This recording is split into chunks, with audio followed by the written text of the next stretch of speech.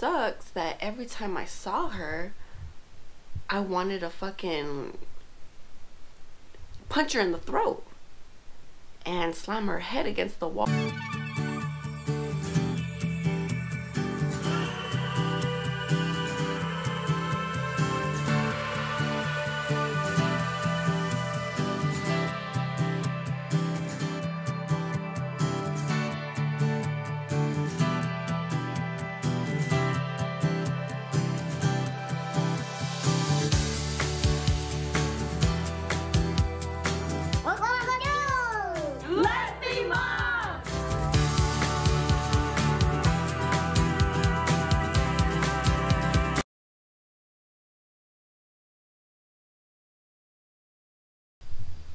What's going on, Lesby fam?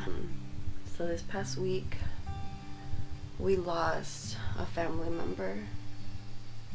Um, he was very young. He was like 36, 37, 38. Young. And um,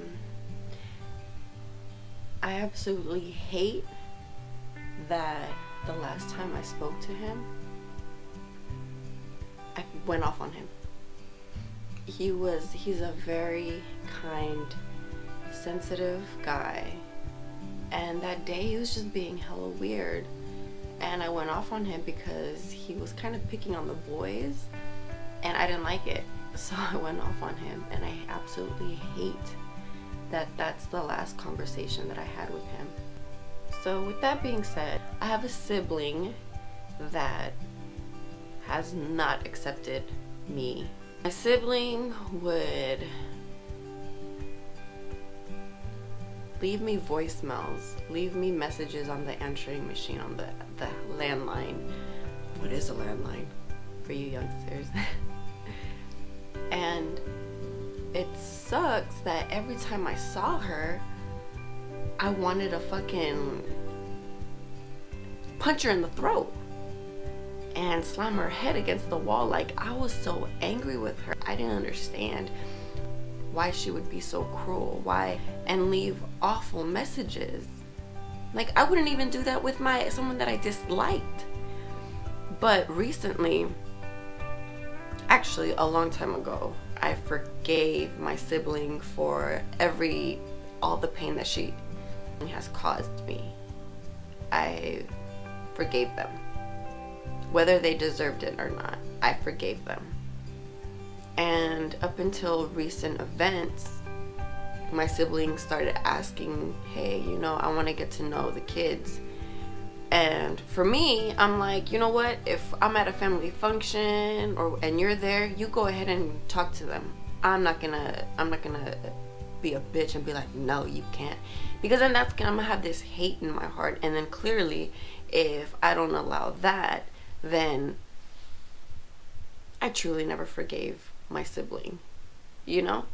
And I feel like it's important to forgive, not necessarily to forget because it's always going to be there, but definitely to forgive, not for the other person's sake, but for your own sake, for your own heart, because you guys don't know how angry I was growing up like from 19 to 28 how angry i was. And you know it has subsided a lot um but i'm not that angry person. Like yeah i could put a front to everyone with this smile be cheerful and let that be my defense mechanism.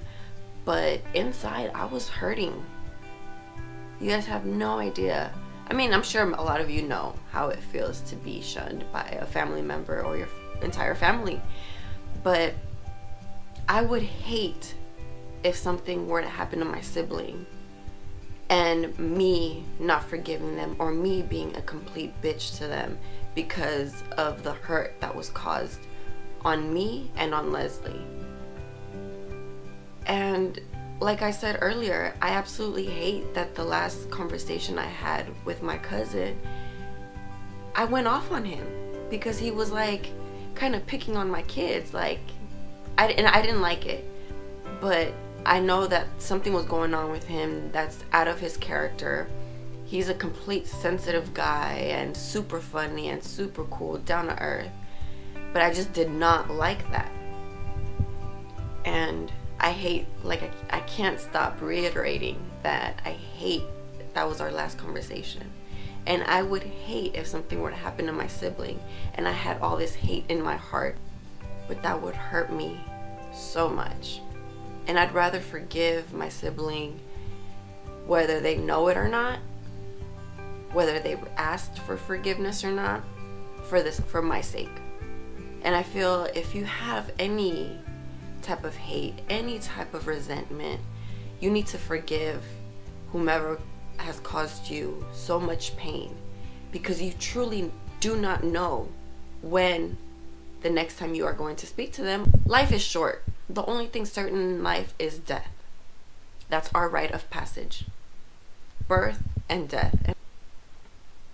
You need to learn to forgive, to have a clear conscience, to have a heart that not necessarily is pure, but you don't have that ache, you don't have that resentment, you don't have that hate, that nasty that nasty feeling of just being angry like it's it's draining.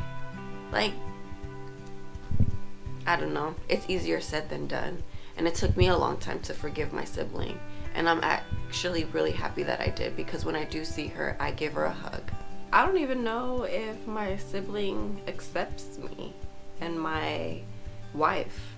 I don't know if she finally realizes that, you know, she was hateful and she was. Even though I forgive my sibling, I don't know if my sibling's okay with my lifestyle. I hate saying lifestyle because it's not a lifestyle. Life is too damn short to hold on to all that hate, to hold on to any resentment or any anything negative.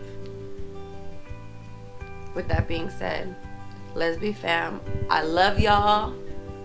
Make sure you guys like, comment, and subscribe.